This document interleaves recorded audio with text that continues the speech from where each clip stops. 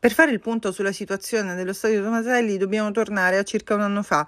960.000 euro di finanziamento con il bando Sport e Periferie per un progetto che prevedeva la posa del manto erboso in erba sintetica e molte altre opere. Lo scopo era quello di rilanciare la struttura ed il suo uso. Gli interventi hanno riguardato la rimozione del manto in erba naturale esistente di parte del terreno, la risagomatura e la riconfigurazione della superficie e la posa in opera di una membrana impermeabilizzante, la realizzazione del sistema di drenaggio dei pozzetti di raccolta dell'acqua e dell'impianto di irrigazione. Il manto in erba in classe 1 resistente al fuoco come richiesto dal regolamento vigente per ottenere le omologazioni previste. Passaggio sulla questione che sarà da affrontare riguarderà anche la segnatura del campo per le linee di gioco delle discipline calcio e rugby.